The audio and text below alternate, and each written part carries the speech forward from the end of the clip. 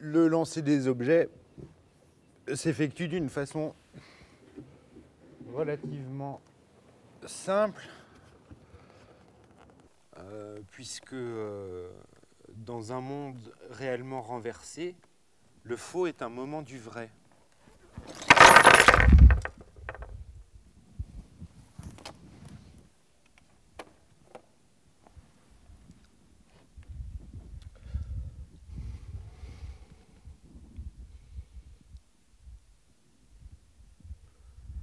La, lecture du lancer va se faire à partir de plusieurs éléments euh, qui, sont, qui sont de l'ordre euh,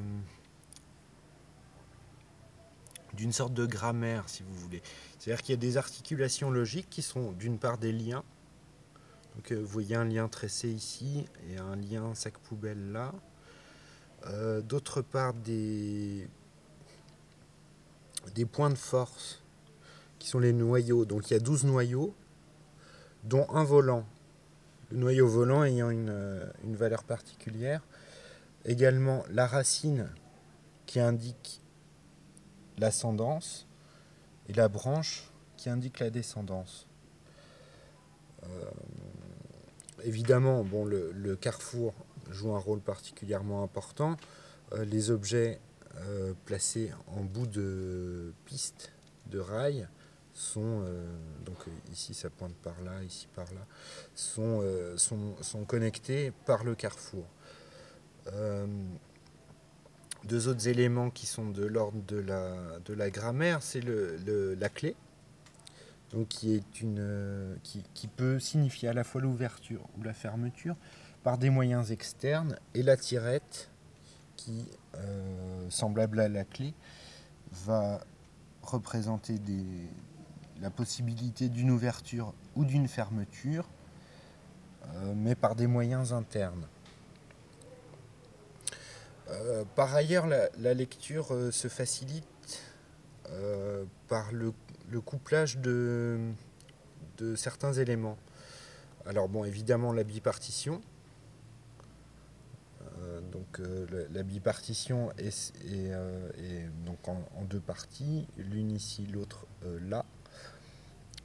Euh, ce qui va donner une valeur particulière aux éléments qui se trouvent entre les deux morceaux.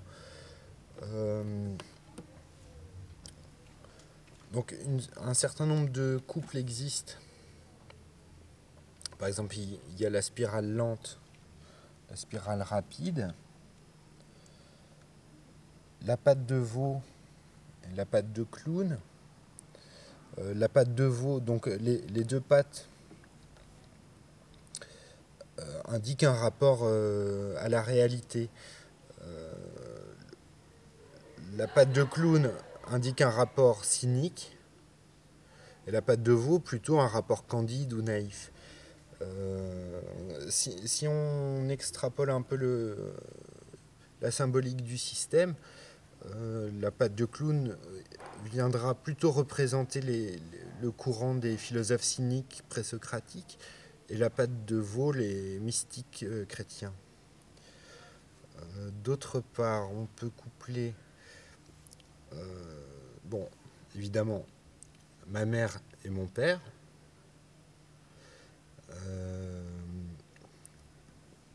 puisque l'une des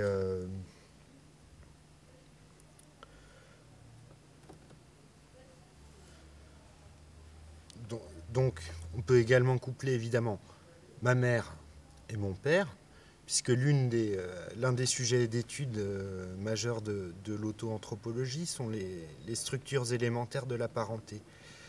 Euh, on est dans un système matrilinéaire du côté de ma mère et patrilinéaire du côté de mon père. ici, on a donc le gris-gris tricoté qui est la représentation des femmes du côté patrilinéaire. Donc on voit ici un axe important. Et le vieux boulon, le vieux boulon qui représente les hommes du côté matrilinéaire. Donc qui représente également un axe ici. Et on voit que le centre de l'axe euh, est constitué par la queue du coyote.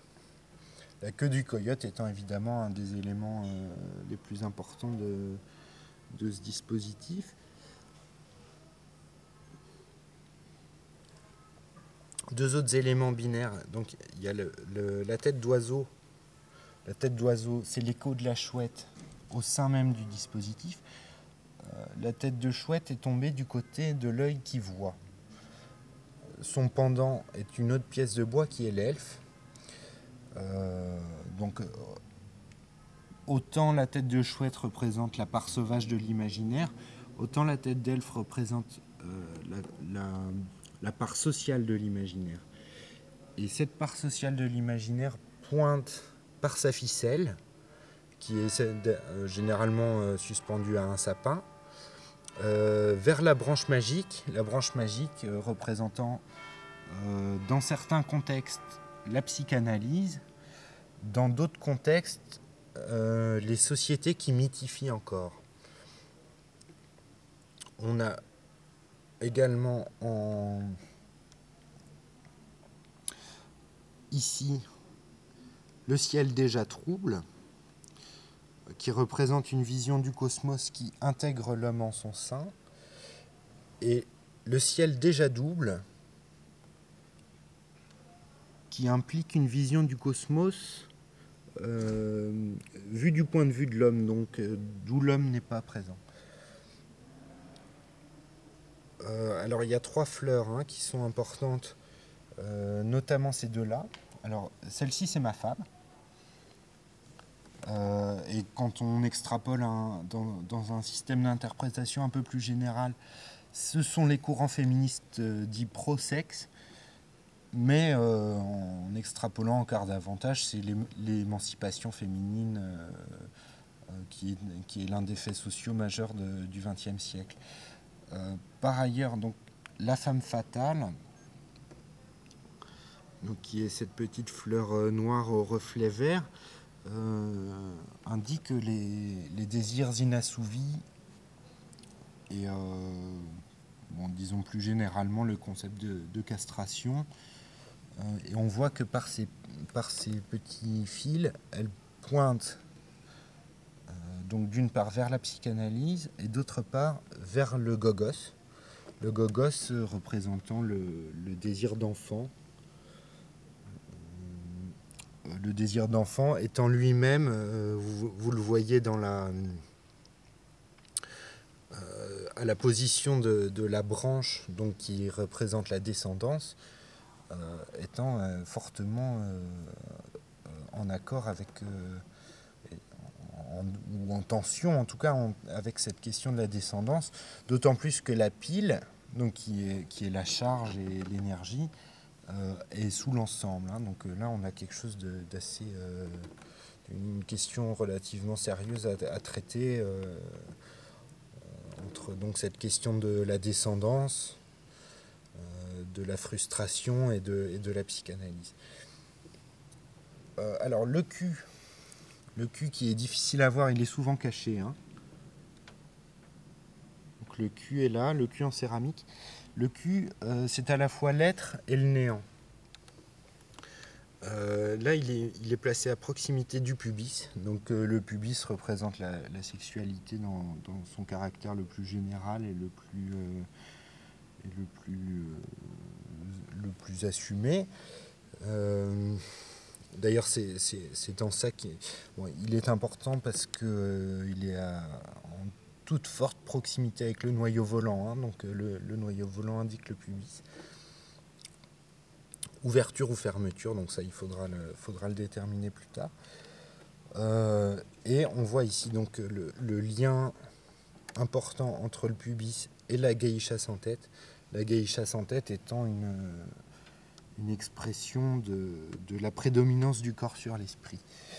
Euh, prédominance qui est tempérée par la présence ici de spirit. Donc le, spirit c'est l'esprit et c'est euh, en l'occurrence une, euh, une, un, c'est également une représentation de la religion dans sa dimension extatique et, dionysiaque. Dimension qui est tempérée par le Temesta qui est là. Le Temesta étant une...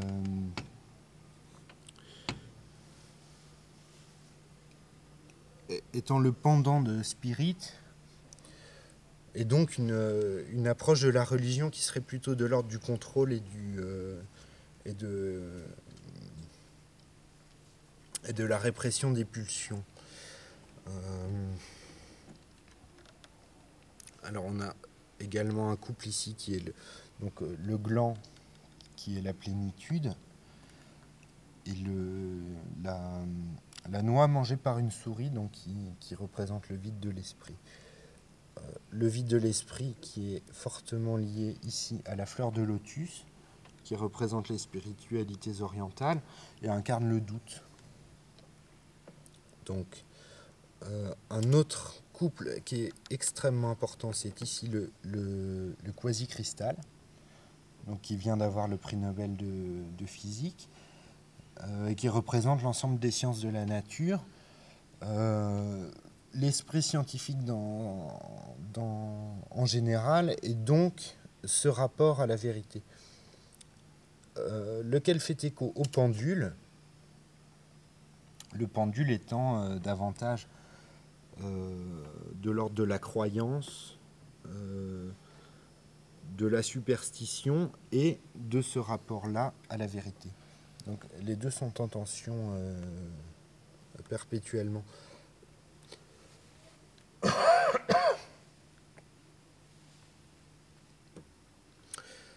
Euh, donc on a ici également la cheville ouvrière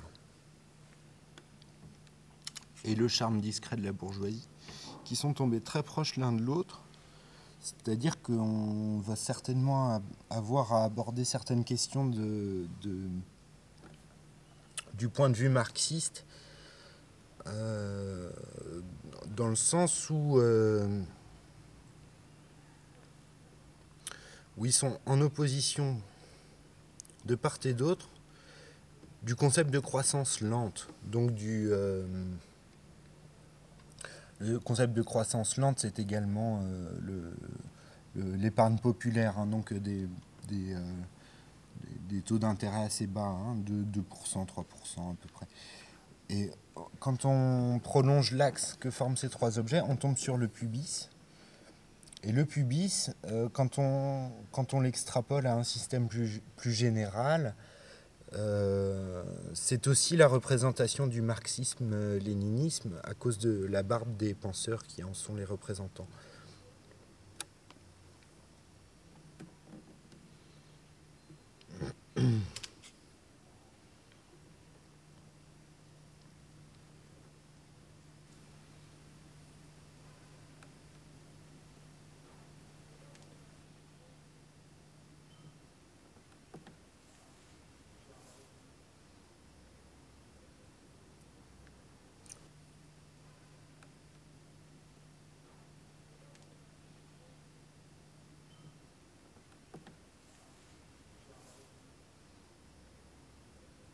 Euh, donc, euh,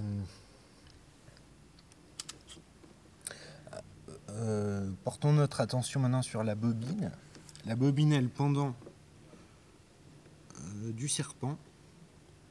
Le serpent représentant un lien à expliciter et la bobine représentant un lien d'une grande densité. Donc il y a ici, il est entre euh, mon père est la psychanalyse et ma mère n'est pas loin derrière. Hein. Euh, entre les deux liens, euh, les deux points de densité de lien reliés par, l'axe du carrefour. là, on n'aura pas grand-chose. Il n'y a rien, il y a juste la psychanalyse. la branche magique, quoi. Donc ça peut être la question du mythe aussi qui peut être importante à étudier.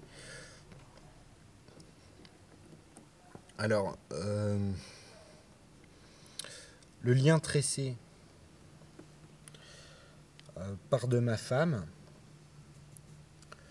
passe à la Vénus de fécondité.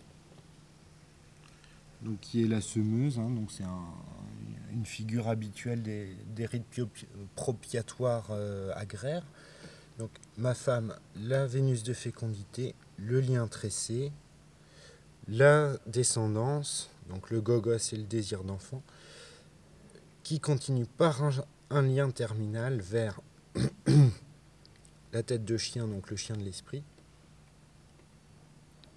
Ah donc c'est euh, le, euh, les, désirs de confort matériel, d'appropriation de, territoire, etc. Euh, l'ouverture, et le marbre, le marbre étant une, une, façon de, vouloir ancrer les choses dans le temps. L'écoute, Hein, donc c'est la, prise de son. Hein. Le, nom, le nom de l'objet, c'est la prise de son. Il symbolise l'écoute et, euh, donc une certaine forme d'altruisme, euh, lequel pointe euh, désormais vers la rose du printemps arabe, qui, symbolise, qui symbolise la révolte populaire contre, contre un ordre social inacceptable.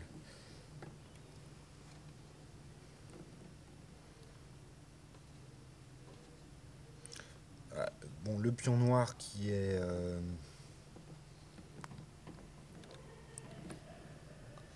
le pion noir qui est à l'écart du reste, hein, donc ça on, on, le, on, constate assez habituellement, c'est que le, pion noir est l'élément perturbateur de la société, c'est l'élément qui, a la volonté de nuire à la société. En termes généraux, il représente en général le situationnisme. Euh, donc bon, il est souvent euh, mis, à l'écart. Hein. Euh, bien qu'il ait, une, il ait une importance, hein, il, équilibre les forces. Voilà, on va, on va continuer en constatant que donc ici on a une proximité assez, assez évidente donc de la pièce de Lego où sont, où sont poussées des, où sont représentées des valises. Euh, la pièce représente donc euh, à la fois euh, la construction, la maison et les, biens matériels, les acquisitions matérielles, le, patrimoine, le patrimoine concret, quoi. Et euh, la cartouche du chasseur, donc le chasseur, euh, lequel, euh, laquelle cartouche contient une dent d'animal qui chasse et qui, et qui elle, symbolise l'ordre masculin dominant dans la société. Hein. voilà, là, il y a une il y, a une proximité qu'il faudra expliciter. Euh, d'autant plus qu'on n'est pas loin du fagot. Le fagot, c'est la volonté de mettre à gauche pour l'hiver, hein, de se protéger un peu matériellement voilà, d'accumuler des réserves qui peuvent être des réserves monétaires ou des réserves euh, de, biens matériels.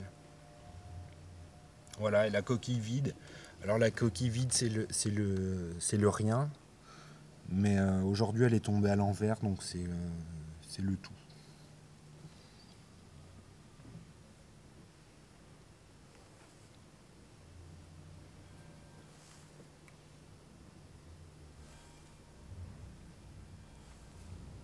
Dernier point. Le O1, l'O1, euh, qui est euh, donc qui représente les jeux d'esprit mais aussi euh, la branche lacanienne de la psychanalyse.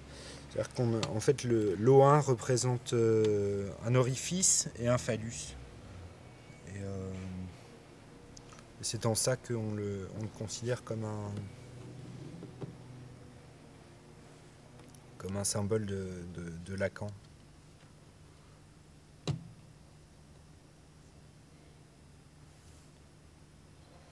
Alors ici le, Mexicain. Donc le Mexicain, je vais vous le montrer comme ça, voilà le Mexicain. Le mexicain, c'est la nostalgie pour les civilisations détruites. Et euh, c'est également le colonialisme, parce que c'est là qu'ont touché les, Espagnols en, arrivant.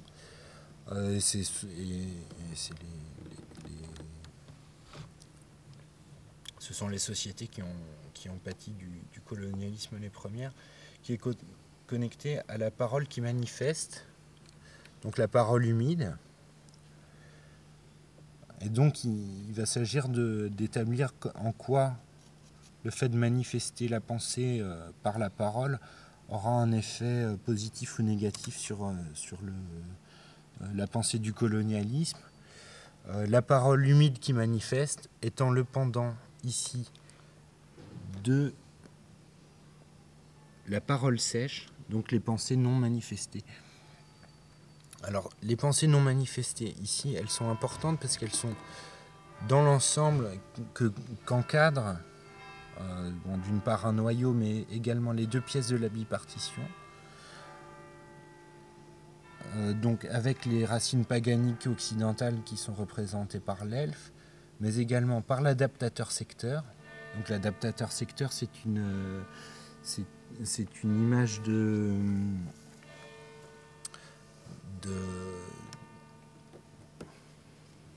l'adaptateur secteur est une image euh, de l'adaptation culturelle à, un contexte nouveau ou réel. Donc c'est quand on extrapole, c'est également des, concepts euh, qui ont été employés euh, notamment dans l'ethnopsychiatrie. Ici, les perspectives eschatologiques de, fin du monde, puisque le, bouchon représentant le monde euh, par ces quatre points cardinaux euh, propose une vision du cosmos qui est, euh, qui est bouchée en termes de, potentialité et d'avenir. Donc il, nous faudra également étudier en quoi le sang menstruel, euh, représenté par cette pièce de céramique, laquelle représente également l'industrie, euh, vont avoir à jouer en, les, les, unes par rapport aux autres, donc ces quatre pièces dans, dans les systèmes de bipartition.